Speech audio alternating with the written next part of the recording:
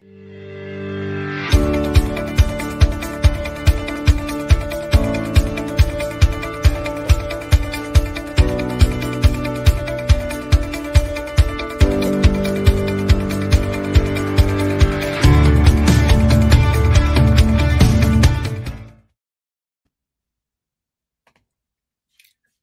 morning, all. So, I am so excited today because I am going to be revealing a new tool that we have been working on at Rework Works. My name is Stacey Gordon, and I am the Chief Diversity Strategist at Rework Work.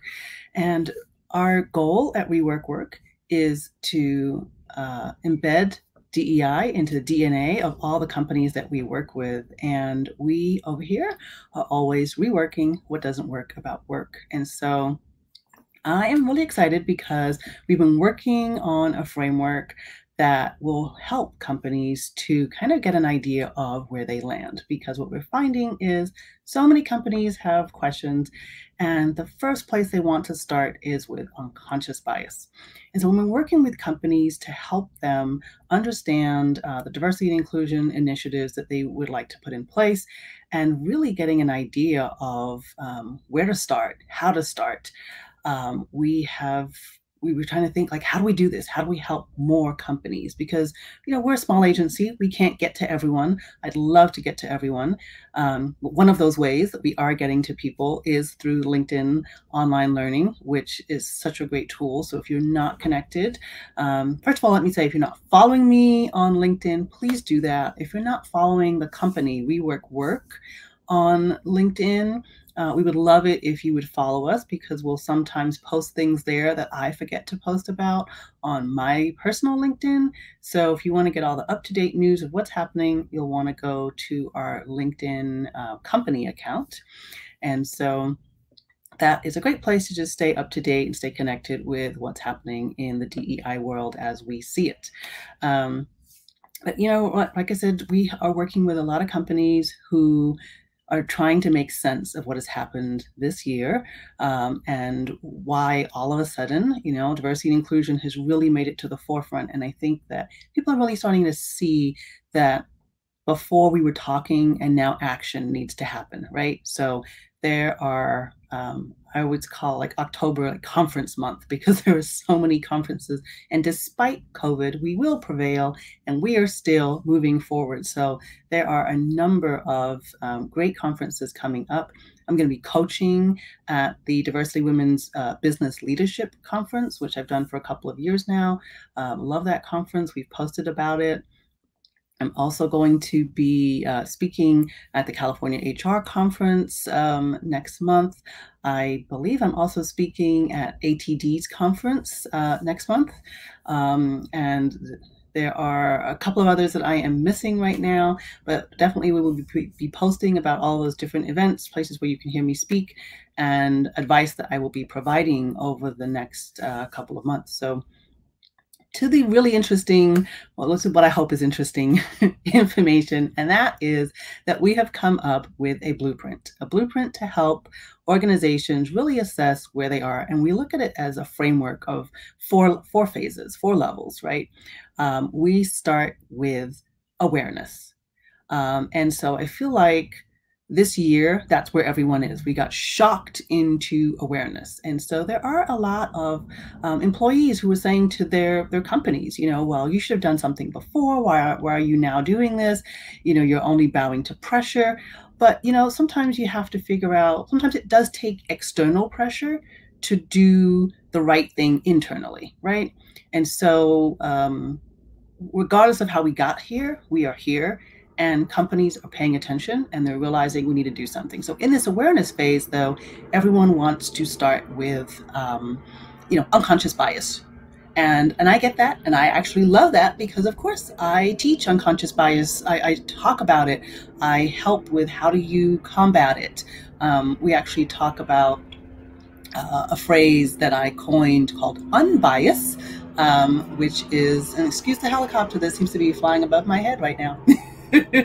uh, but we talk about unbiasing, right? Taking the bias out of your workplace. And so that's why this blueprint is called the Unbias Blueprint. And we are um, asking that everyone kind of take a look at it and take the assessment and let me know what you think. Um, what it will do is it will go through the four phases. You've got awareness, you have alignment, we have action, and advocacy. And um, I jokingly said, you know, if somebody takes this assessment and gets to advocacy, they're lying. but I, I, joke, I really do. Um, I think that if if someone takes the assessment and their company really is in the advocacy phase, that's what we want. That's great. So the four phases, as I said, we start off with awareness. That's where most people are. They're in this space where they're starting to realize we need to do something, we have to do something, but we're not sure what to do, and we don't know what direction to take. So the awareness phase helps to understand all of those. In the alignment phase, what we talk about is, you know, are your leaders really aligned with this? Like now that we've discovered what some of the concerns might be, now that we've thought about what the direction might need to be, do you have leadership that is really going to help to move you towards the goal? Um, and are you going to get there as um, as an organization? and then you then you get to act right so most of the people that we're talking to want to jump straight to action and we have to drag them back kicking and screaming to the awareness phase. So I know that, you know, if you're reaching out and you're looking to work with us and your first step you want to say unconscious bias training, I'll say this, you know, it would be great if you'd start with the LinkedIn online learning unconscious bias course that I created because one, it's short, two, it's free. and so there is no barrier to entry for this. There's no reason that your entire organization can't take this course right now because it's free for everyone to be able to take. So hoping that you'll take advantage of that because when do you get free stuff? You know, it's so hard to get uh, information that is really going to help you move your company forward um, for free, right? Like F R E E free, whether you've got five employees or 50,000 employees, you can all take the course for free right now. So this is something that you should all be doing. Um, if you've already done it, share it with a colleague and ask them to get their uh, employees to take it because why not, right? We, we, we definitely need the information. And I believe that in that course, that's in, in the awareness phase, it's helping you to understand where we are and what we need to do, right? So going back to action that's where everybody wants to be. Everybody wants to be in action. Everybody wants to be um, participating and and doing something which is great.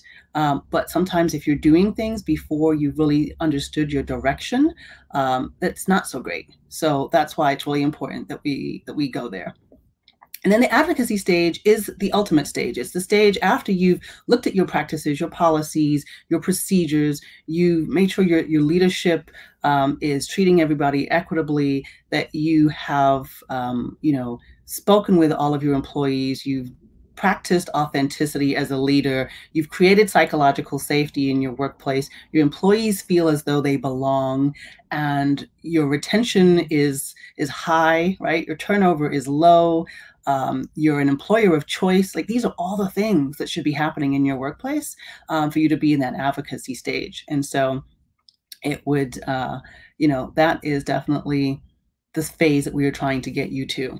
And so so excited for everyone who is here today and who is paying attention and who has been joining me every single week. I appreciate you. I know Ingrid, you've been dialing in almost every week. That's so awesome. I'm so glad to see you here today. Um, I started July 1st and I've been doing uh, a um, LinkedIn Live every Wednesday all the way through. And so next week will probably be my last one that I'm going to do frequently. After that, we'll see where we go. Um, but I'm really going to be focusing on getting as many people as possible to take this assessment um, and really start to understand where we are as, a, a, you know, where you are as a company, but then also where we are as a workplace, right? As a global workplace, what does that look like? And so that's our goal. That's what we're working towards. Um, and so I just wanted to really make that announcement. You'll be seeing lots and lots and lots of promos from me about it because I'm hoping that you'll take it. I'm hoping that you'll share it. And so um, those are my two asks. You know, take the assessment, take the unconscious bias course, and let's get all of the companies from awareness to advocacy by 2021 that's the goal. So thank you so much. Appreciate you all joining in. We had a short just hello today.